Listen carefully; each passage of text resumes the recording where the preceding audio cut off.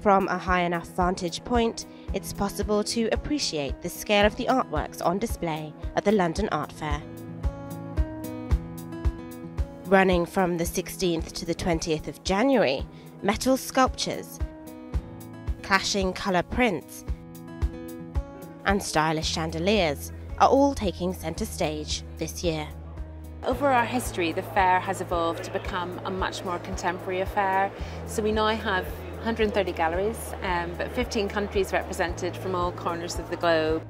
They include Canada, Russia, South Korea, and Puerto Rico.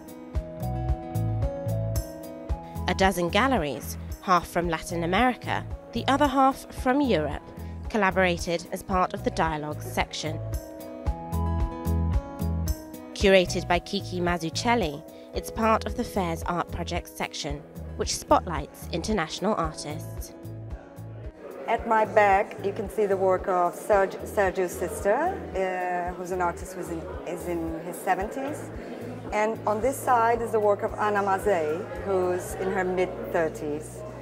And uh, the idea here is that both artists work with this language of geometric abstraction, which is one of the main, kind of one of the most important trends in, in Brazilian art history. Venezuelan artist Augusto Villalba's work layers paint to create unique textures. It's about materials I've found and put it together and working with colors and transparency and different material. They are basically on paper and I do this process and I finish it on canvas, which is, feels like it's leather or kind of different um, point of view, like looking at art.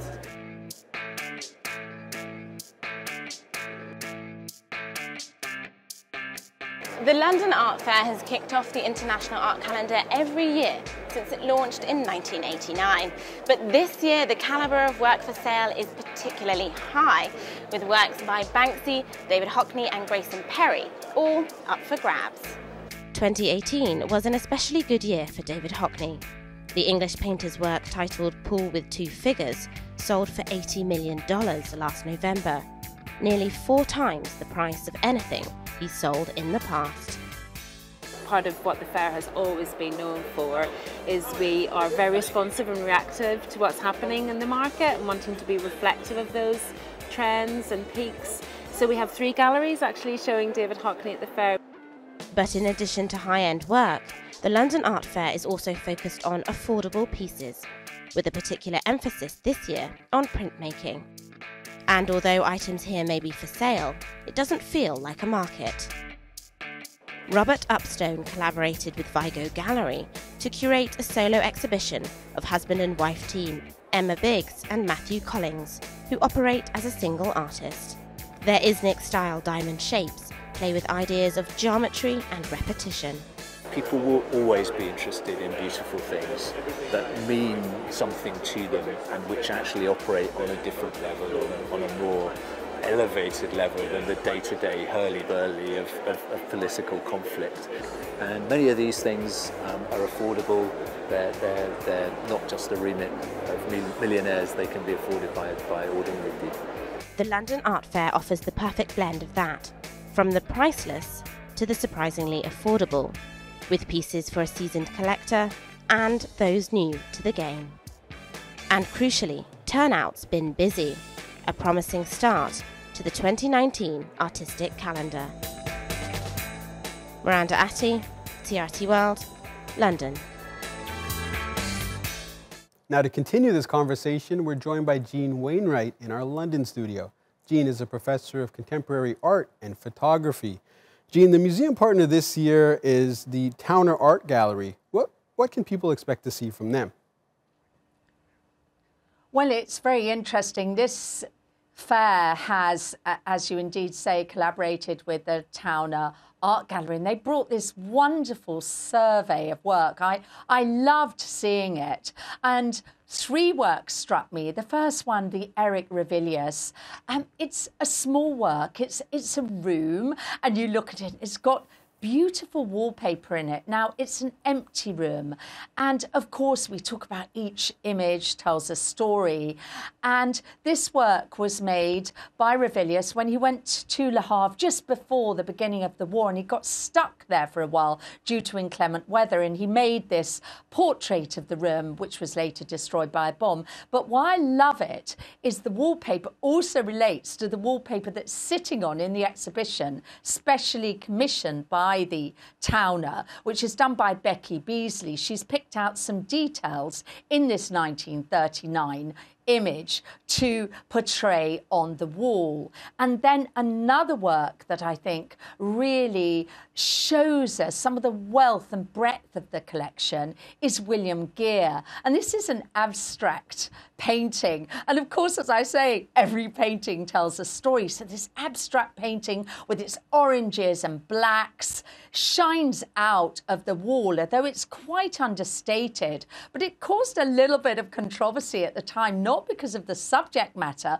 well, because William Gear was a curator at the time at the Towner when he acquired the work, his own work, and he kept writing off to museum, uh, writing off to foundations to ask for kind of funds to acquire abstract art and built up a lovely collection for the Towner, but also acquired quite a few of his own works at the time. And questions began to be asked, but thank goodness that he did do it because we've got these wonderful examples of British 50s and 60s abstraction. Now, Jean, photography plays a central role in this year's art fair, including a special presentation of Photo 50, which has become a feature of the fair, and uh, this year's focus is on family.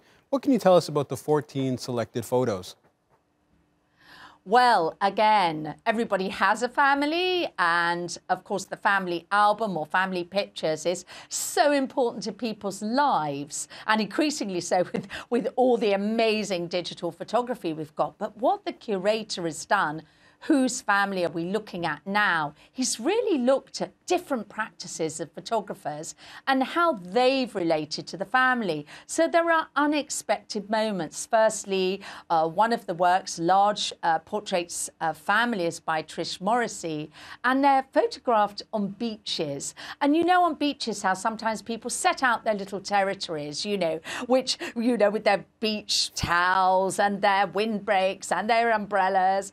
And so what she's done is that's what it looks like when you first see it, to see the works, and then you think, hmm, something strange there. Well, what the artist has done, she has approached family. She had a bag of clothes on her back, and she basically dressed up, seeing these random families on the beach, dressed up so she looked like them, either in bikini or frocks or whatever they were kind of wearing.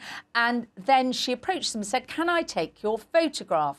With a large format photo uh, camera actually, and uh, they would agree or not. Usually agreed, and then she said, "Well, what I want to do is I want to replace the mother in the work. I want to be the mother in the portrait, and so the mother would be removed from the portrait and would be asked to take the photograph. Now, sometimes the father or man in the group would volunteer to take the photograph. She said, "No, no, I, I need the mother in it." But it's also about far more than that. About family groups groups about different beaches in the UK and Australia, different territories, different groupings, social economic groupings of people.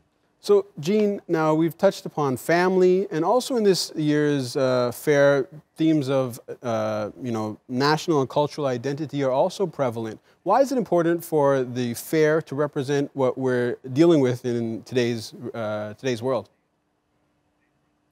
Well, of course, when you walk round a fair like this, works can't help but jump out at you. You know, suddenly read works differently because of political situations that are happening, certainly in Britain at, at the point with Brexit. You know, Til, Tillmans, for example, that I mentioned earlier, a huge fan of remaining and has done many works about that. So you walk round, you see works that seem to express something of the moment. And this show, which of course has many galleries in it, each of them showing work, international works, works full of colour and expression. That's what art does. It reflects the times and it reflects so many different mediums and so many different types of work all together, like a society kind of existing together, which I think is wonderful mm-hmm. and, and glorious and what art should do. And so these fairs kind of give us a feeling of what's happening now and also work from the past. Right. Great. Thanks for your time, Jean. Really appreciate the insight.